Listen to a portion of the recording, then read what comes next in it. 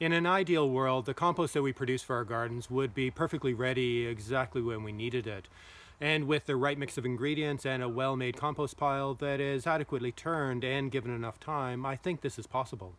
But that's often not the case, and many growers, including myself, often want to end up adding compost to garden beds before it's ready, before it's had enough time to decompose or reach that ideal crumbly texture. This is especially the case with the small-scale community composting facility that I operate, where a number of different people add a wide variety of different materials that is usually not chopped up very well or mixed adequately, and I definitely don't turn it enough.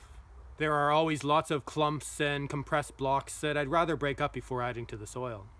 I usually find lots of partially decomposed woody material, a fair number of stones, and pieces of plastic or cutlery or other debris that is mistakenly or carelessly added in with the kitchen compost, as well as pieces of twine and other materials from the gardens. I really don't want any of this stuff in my garden soils, and I needed a simple process to remove it all. I have seen a number of different methods for sieving compost, but the best one seemed to be a simple sloped metal mesh or screen where you shoveled compost up onto the top and let gravity do the rest. I ended up building one from a metal screen that I got from my neighbor, which was 60 centimeters wide and 180 centimeters long, and it had holes about 25 millimeters wide, or about one inch. I built a frame out of some scrapped wood and fixed the screen to the bottom of the frame with large staples and added posts to keep it upright. It was simple to use, shoveling compost up onto the top of the frame and the small particles drop through the holes and the larger pieces tumble down the slope of the screen, breaking up along the way.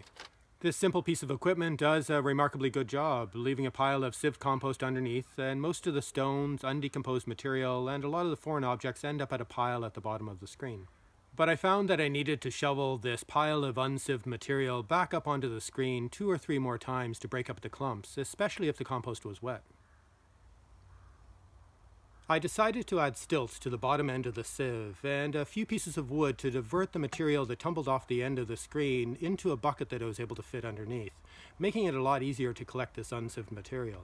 Once the one bucket was full, I could swap it with an empty bucket and dump the contents onto the top of the sieve, which was easier than shoveling to collect the material. This involved a lot more lifting, which was compounded by the sieve being higher, which required a lot more upper body strength, but it definitely speeded up the process. After a few runs down the sieve, I had a mix of tough clumps, undecomposed pieces, stones, plastic, and other unwanted material. I could manually pick out the larger pieces of plastic and stones, but separating it fully was a tricky enough task in a bucket.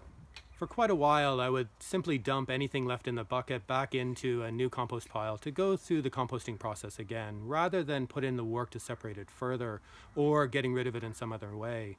This had the unfortunate impact of increasing the amount of stones and plastic and unwanted material in subsequent batches of compost.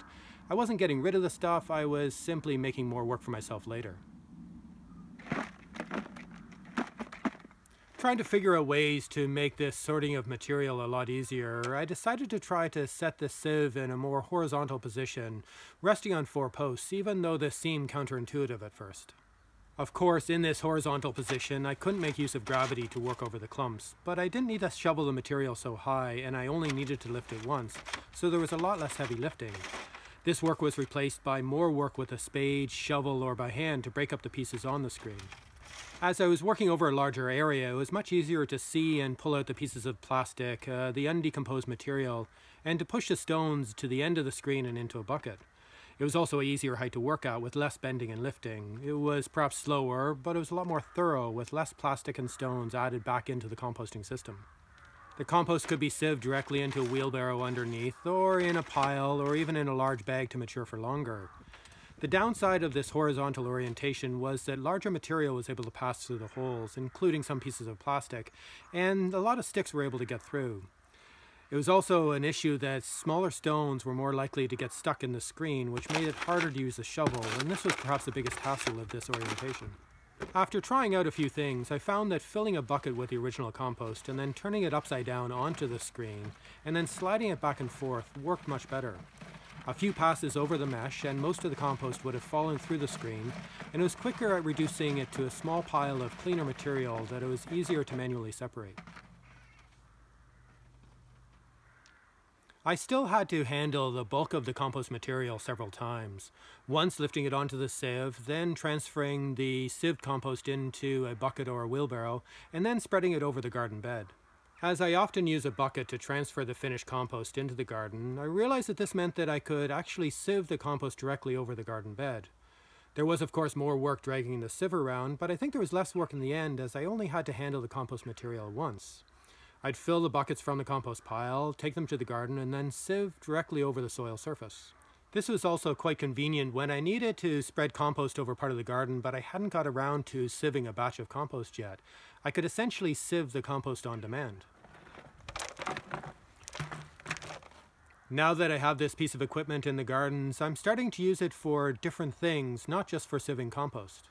I have found it really useful to use this sieve to help clear rough and weedy ground. By cutting out chunks of soil and weeds and placing it onto the sieve, I can bash it around and separate out all of the biomass from the soil which falls through the sieve, especially the problematic weed roots, and it also clears out the stones at the same time. It is a fair amount of work to dig out all of this soil, but it's possibly the fastest way to go from really rough ground to loose cleared soil that is ready for shaping into beds and planting. I've even tried using the sieve to help dig out a few beds of potatoes, which helps to ensure that no tubers are left in the soil to regrow the next season. This is perhaps most useful in the intensive garden where I usually double dig the beds, as this is several jobs done in one pass. Harvesting potatoes, double digging the soil, as well as helping to clear out any stones and weed roots. I've even found it to be an effective tool to help to thresh the small amount of wheat that I grew this season. While I originally built this simple sieve to help improve the quality of my compost, it's become one of the most useful pieces of equipment in my gardens, especially as I'm still clearing a lot of ground. It is interesting how the uses of a tool will change over time and how rarely I use it in the original sloped configuration that I built it in. Of course, different designs and uses will fit different people and contexts, and as my gardens evolve, no doubt my own uses and needs will change. I've been thinking about how I could adapt it in the future, mainly to have legs that are adjustable to a variety of different slopes and heights. It would also be nice if it was lighter and collapsible to make it easier to move around and to store.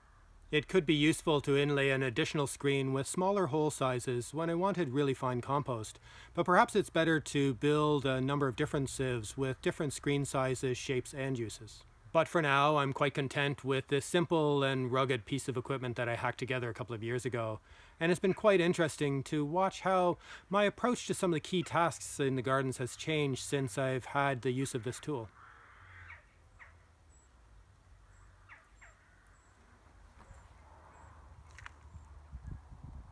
It's been about five weeks since I released my previous video, and this delay was caused by an unexpected and quite dramatic event that took place, but more on that in my next video.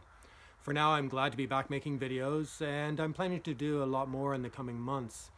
If you like my videos and like the work that I'm doing, be sure to subscribe. And if you want to support my work even more, please check out my Patreon page linked here or in the description below. But most importantly, thank you for watching.